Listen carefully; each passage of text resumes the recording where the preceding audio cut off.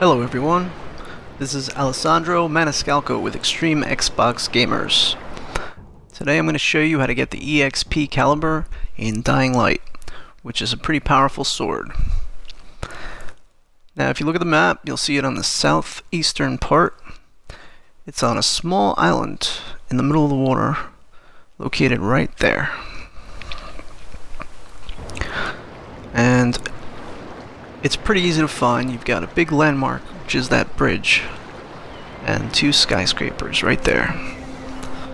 And all you need to do is make your way to the end of these breakers, which should not be infested by zombies as long as they didn't follow you.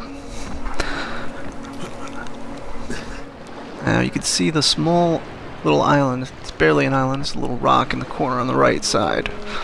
Once you get to the end of the breakers, you're going to just jump in the water and swim towards it. Now, the sword itself is pretty powerful. It can take down a larger zombie in only three hits. But it's also not very durable, and will, will break pretty quick. Uh, and unfortunately, it can't be repaired.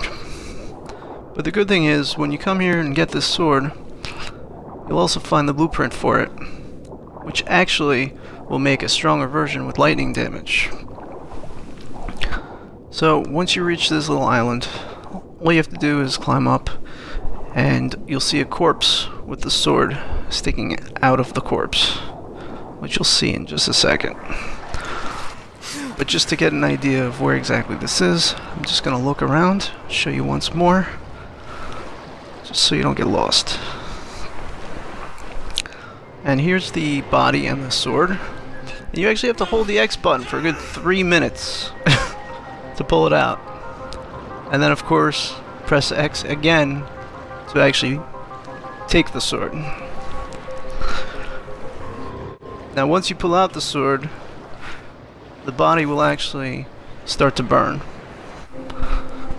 Once the body burns, you'll find this blueprint located underneath it. And that's the blueprint for the sword, which I'll show you. And I actually can't read the text on the screen, but as you can see, there are quite a few components involved in creating it. But again, it is powerful. Best to use in emergency situations or if you want to clear out a safe zone. Uh, that's what it looks like. And thanks for watching.